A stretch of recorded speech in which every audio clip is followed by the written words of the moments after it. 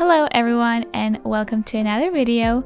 In this video, I'm gonna show you how to turn this simple mirror from Ikea into this fabulous golden ornate mirror. This one is a bit different. I'm not a DIY channel, but I did make this fabulous mirror and I thought I would share how I did it.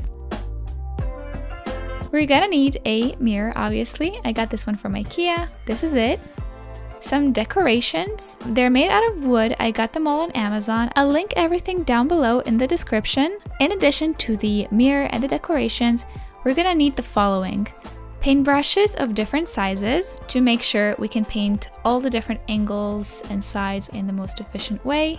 Glue to glue the decorations on top of the frame. Sandpaper to file the frame before we apply paint. Gold varnish for the paint itself and masking tape to protect the reflective surface of the mirror from the paint. I did this whole DIY project in my apartment, so I covered the floor with a plastic sheet to protect it from the paint. I taped the edges of the mirror itself so that the paint doesn't get on the reflective surface. It's not the end of the world if the paint gets on the mirror, you can remove it, but it'll make your life easier if it doesn't get there in the first place. I filed the frame with sandpaper to remove the top coat and prep it for the gold paint.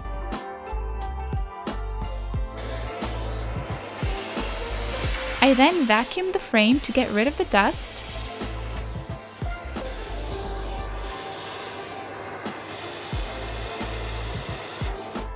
And I also used a sponge to smooth everything out and remove any remaining wood particles. Then it was finally time to paint the frame.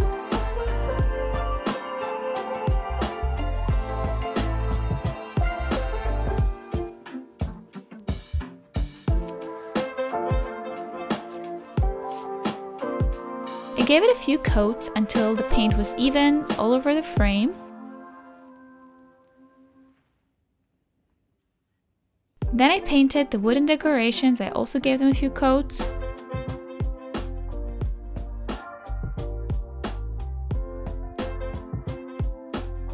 I let everything dry.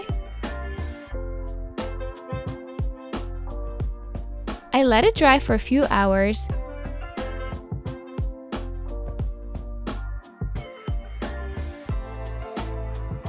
Then I removed the masking tape, which was very satisfying.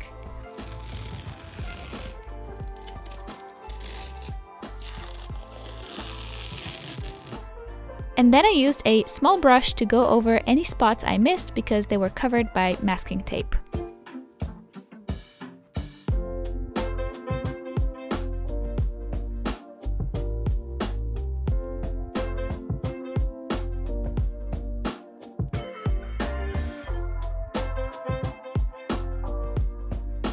I then glued the decorations to the corners. I pressed and held them for a couple minutes to make sure they are set in place.